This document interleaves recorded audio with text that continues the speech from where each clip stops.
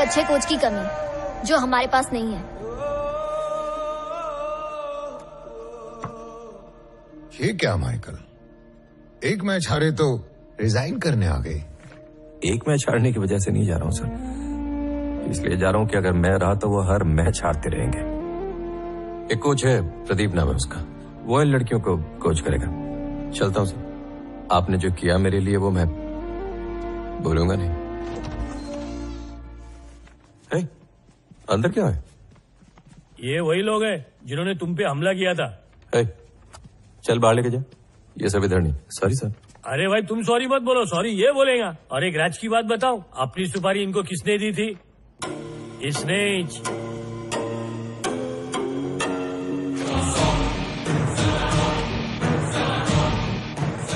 ऐसा क्यों सर तेरा बाप नमस्ते। नमस्ते। उसने अब तक इतने गोल नहीं किए जितने तुम्हारे ऊपर क्रिमिनल केसेस हैं। वो टीम के लिए खतरा बन सकता है। सर मेरे साय में पला है पर मेरे जैसा नहीं है। लगता है कि मुझे तेरी भाषा में ही समझाना पड़ेगा। पहले मेरा हाथ छोड़।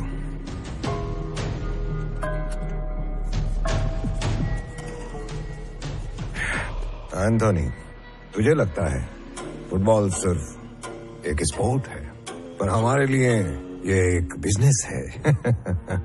नहीं समझा क्या? समझाता हूँ। नेशनल टीम के लिए जो प्लेयर मैं सेलेक्ट करता हूँ, वो टीम को जिताएँ या फिर हराए, लेकिन उनको सरकारी नौकरी ज़रूर मिलती है। भिड़ो, चांदी चांदी है।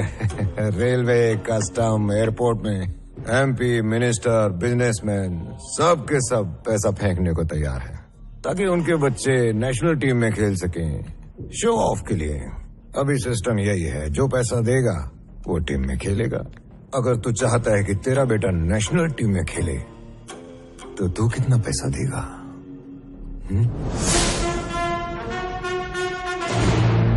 तुझे फूटी कोड़ी नहीं दूँगा मैं।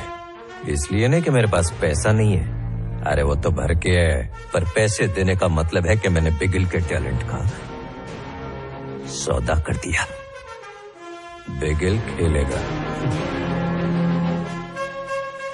तू रोक के देखा। तेरे को जो उखाड़ना है उखाड़ ले वो नहीं खेलेगा। अरे मैं वो प्लेयर है सर जिसे भले ही गेम ना आता हो। मैदान में उतरा ना तो खलबली मचा देगा। चलता है अपन।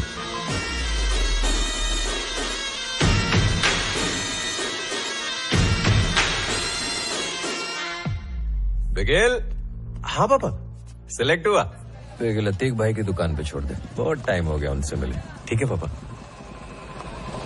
तू जा मैं करा ठीक है पापा मैं चलता हूँ। चार नंबर पर डोसा दे। सलाम भाई।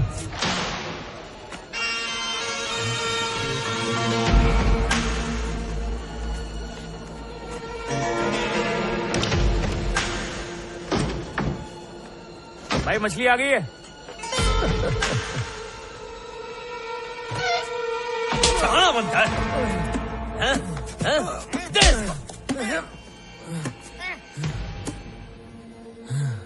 मन तो किया कि गुप्ती गुस्सा के तेरा माल मसाला वही निकाल दूँ। अबे, तेरे को बड़ा केबिन क्या मिल गया? खुद को भगवान समझने लग गया है क्या? वक्त किधर लाके पटक सकता है अभी? समझ में आया तेरे को? वो तो सुना ही होगा ना तूने सौ सोनार की, एक लोहार की। तुझे लगता है तू तो बैड मैं तेरा डैड है। अभी कुछ बोलती बंद हो गई। देख पेपर तो लेके आ जरा। लिखा है तू टीम में प्लेयर्स को खिलाने के लिए रिश्वत लेता है। चल साइन कर मैं बर्बाद हो जाऊँगा। अगर नहीं किया तो मैं बर्बाद कर दूँगा। जल्दी साइन कर। रईसों के पास तो तरक्की करने के हज़ारों रास्ते। पर गरीब के पास स्पोर्ट्स के अलावा और क्या सहारा है?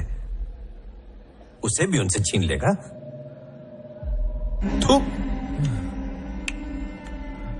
खाली मेरा बेटा नहीं। कल सुबह तक जितने होनहार प्लेयर्स हैं सबका नाम लिस्ट में होना ही चाहिए। और अगर नहीं हुआ ना तो ये पेपर कल मीडिया के पास पहुँच जाएगा।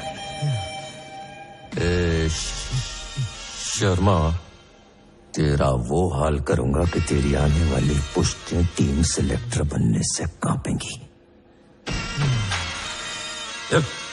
निकल। ए, लोगों का हक मार के कमाए हुआ पैसा ना बुरे वक्त में भी काम नहीं आता। चल, चड्डी में निकल, चल।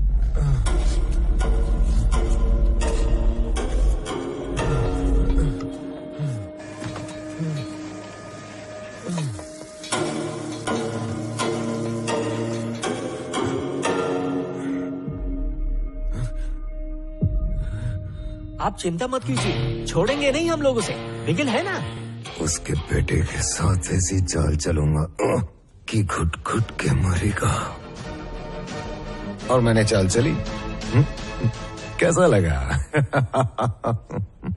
तो तू जाना चाहता है। जाओ।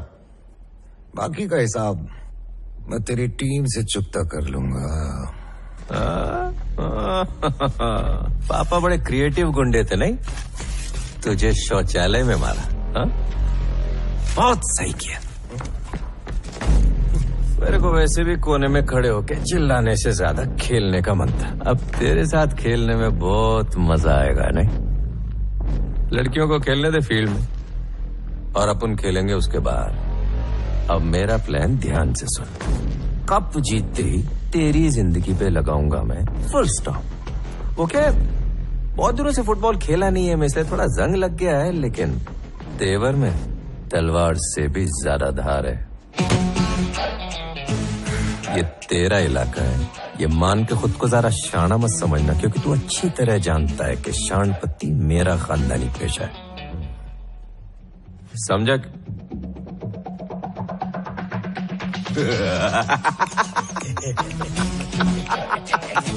ये तो सुन के ही गीला हो गया। पापा ने जो दिखाया वो बस ट्रेलर था। अब बेटा तुझे पूरी पिक्चर दिखाएगा। ब्लॉकबस्टर